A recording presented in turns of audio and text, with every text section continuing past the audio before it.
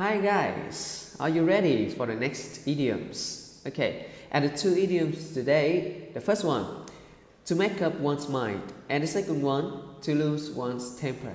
So are you ready? Now, let's go. The first idiom, to make up one's mind. To make up one's mind means to make a decision or to decide. Uh, let me give you an example. I can't make up my mind whether to watch Manchester United, my favorite football game, or the El Clasico between Real Madrid and Barcelona. So, what's your opinion? The second example, uh, my friend, she can't make up her mind whether to go on with her boyfriend or to say goodbye. Okay? The second idiom of today is to lose one's temper.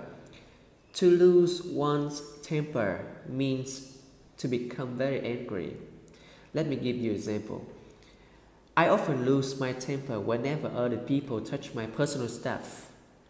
And another example, uh, my friends, they handed in their essay two days late.